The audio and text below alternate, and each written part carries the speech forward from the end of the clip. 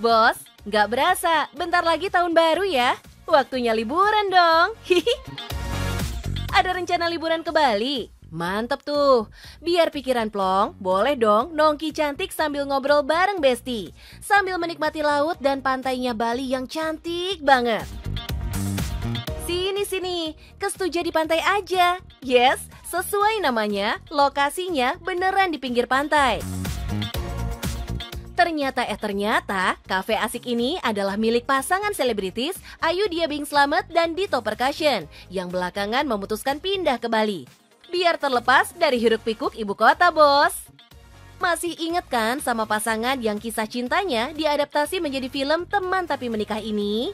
Ternyata keduanya gak cuma jawara di dunia seni, tapi juga jago mengelola usaha sendiri, bos. Gak percaya? Nih buktinya. Selain Stuja, Dito dan Ayudia juga membuka warung kopi di New York, Amerika Serikat. Wih, si Warkop NYC ini bahkan sempat viral loh karena menunya yang merakyat banget. Yes, andalannya adalah kopi Nusantara plus mie instan dan aneka masakan Indonesia. Wah, ya udah, fix jadi pengobat rindu para WNI perantau di Amrik deh. Hihi.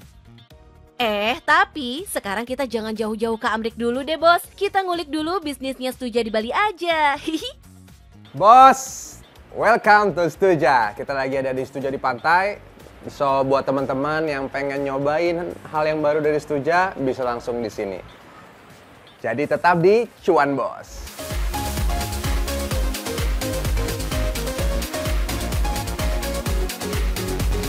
Uniknya, ide bikin kafe pinggir pantai ini muncul waktu Dito lagi surfing, bos. Terus, lah kok nemu lahan kosong yang bisa disewa dengan harga bersahabat. Jadi deh si Stuja ini lahir dan sekarang makin besar, bos. Serunya, semua pengunjung yang udah memesan menu apa aja bebas naik kano Stuja di pantai, bos. Jos nggak tuh? Ngopi, ngobrol sambil naik kano. Alamak, cocok banget buat healing nih. Nah, main kanonya kudu nunggu laut pasang ya bos, biar si kano nggak nyangkut.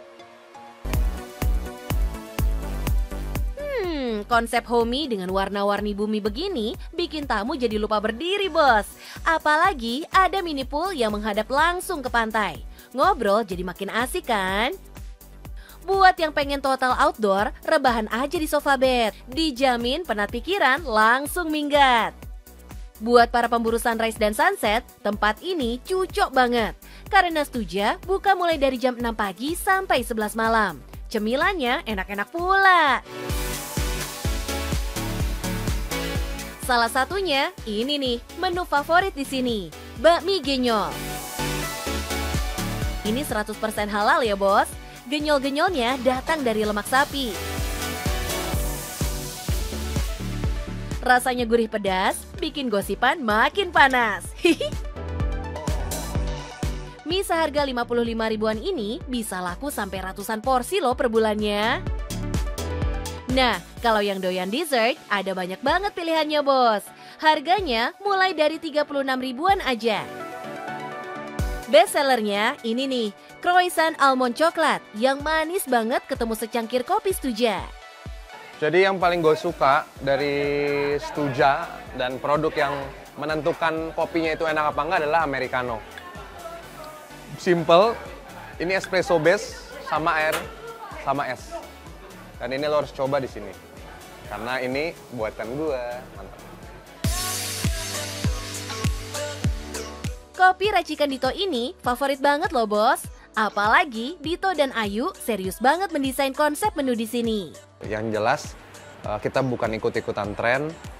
Kita juga tahu apa tuh modulnya, SOP-nya karena semua di dalam Stuja F&B ini produknya itu diciptain sama Ayu sama gua. Jadi lidahnya dari kita, terus kita ngajak orang untuk ayo bisa nggak buat uh, yang model kayak gini yang kita suka. Jadi kita benar-benar tahu produknya. Itu sih yang paling penting dalam uh, bisnis uh, kuliner atau F&B ini ya. Jadi jangan sampai kita cuman oh investasi tapi nggak tahu apa yang dibuat. Itu bahaya banget sih. Gitu. Pantas aja, 500-an porsi makanan dan minuman ludes setiap hari, bos. Cuannya seger bener bos, antara 20 sampai 50 juta rupiah bisa masuk per hari. Lah kalau sebulan, minimal 600 jutaan bos, alamak. Nah, ada satu hal yang jadi penentu sukses enggaknya bisnis kafe semacam ini bos. Gak cuma dicari yang piawai mengolah berbagai menu sajian aja loh, tapi keramahan dan etika perilaku para staf juga jadi penentu jalan atau tidaknya bisnis ini bos. Oke bos, udah lihat kan uh, gimana uh, Stuja di pantai. So makanya ke sini bos, biar cuan bos, lo bisa lihat semuanya dan ikutin bos. Cuan bos!